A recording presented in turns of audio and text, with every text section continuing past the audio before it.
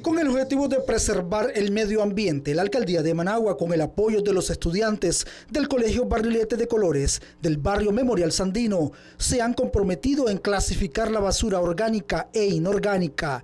En tal sentido, la comuna capitalina entregó depósitos de basura para hacer este trabajo que protege el medio ambiente. Nuestros estudiantes estamos seleccionando los desechos sólidos en orgánicos e inorgánicos, cuidando nuestro medio ambiente, teniendo un espacio pedagógico, pero a la vez con un ambiente saludable, bonito, limpio para nuestros estudiantes. Y no es nada mejor que con ello iniciar este buen hábito, estos valores de mantener limpio el espacio de la escuela. Ya es tiempo que vayamos avanzando en la clasificación de nuestros desechos.